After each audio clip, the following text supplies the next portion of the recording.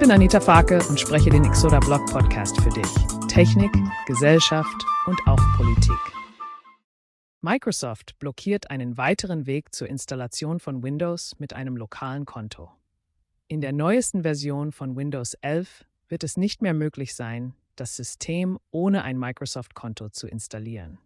Benutzer werden stattdessen gezwungen sein, sich mit einem Online-Konto anzumelden, anstatt die Option eines lokalen Kontos zu haben. Diese Änderung hat bereits eine Flut von Kritikern auf den Plan gerufen, da viele Menschen ihre Privatsphäre schützen wollen und es vorziehen, lokale Konten zu nutzen. Diese Entscheidung ist nur der jüngste Schritt in Microsofts Bestreben, seine Nutzerbasis stärker in die Cloud zu integrieren und seine Online-Dienste zu fördern. Bereits in der Vergangenheit hatte das Unternehmen schrittweise begonnen, die Optionen für die Nutzung von lokalen Konten zu reduzieren. Bei der Einführung von Windows 10 war es zunächst noch möglich, ein lokales Konto bei der ersten Einrichtung des Systems zu erstellen. Doch mit späteren Updates wurde diese Option immer schwerer zu finden.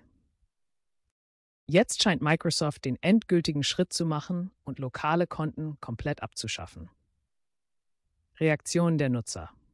Diese Veränderung hat bei vielen Benutzern für Unmut gesorgt. Zahlreiche Nutzer haben bereits ihre Sorgen über die zunehmende Abhängigkeit von Online-Diensten geäußert. Einige Benutzer befürchten, dass ihre Daten bei einem zentralisierten System anfälliger für Hacks oder Datenschutzverletzungen sind. Andere kritisieren, dass Microsoft ihnen die Kontrolle über ihre eigenen Geräte entzieht. Ein weiteres Argument gegen die zunehmende Abhängigkeit von Online-Konten ist die Gefahr von Hacking-Angriffen. Je mehr Menschen gezwungen werden, ihre Daten online zu speichern, desto attraktiver werden Plattformen wie die von Microsoft für Cyberkriminelle. Microsoft hat diese Entscheidung damit begründet, dass der Einsatz eines Microsoft-Kontos die Benutzererfahrung verbessern soll. Durch die Verwendung eines Online-Kontos können Einstellungen und Daten einfach zwischen verschiedenen Geräten synchronisiert werden. Dennoch sind wir überzeugt, dass die Vorteile, die ein Microsoft-Konto bietet, letztlich überwiegen werden. Alternativen und Workarounds. Es gibt jedoch noch einige Möglichkeiten für technisch versierte Benutzer, ein lokales Konto zu verwenden, obwohl dies von Microsoft nicht offiziell unterstützt wird.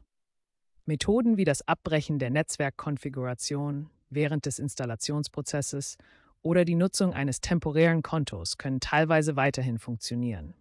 Doch diese Lösungen sind keineswegs bequem und erfordern oft detaillierte Anweisungen und technisches Know-how. Fazit. Die Entscheidung von Microsoft, lokale Konten bei der Installation von Windows 11 zu eliminieren, ist ein weiterer Schritt in der Entwicklung des Unternehmens hin zu mehr Cloud-Diensten und einer vernetzten Benutzererfahrung. Obwohl die Vorteile eines Microsoft-Kontos unbestreitbar sind, bleibt die kontroverse Frage im Raum, wie viel Kontrolle und Datenschutz Benutzer bereit sind, im Gegenzug für diese Vorteile aufzugeben. Danke fürs Zuhören. Denk immer an eine möglichst nette Bewertung, um uns zu unterstützen.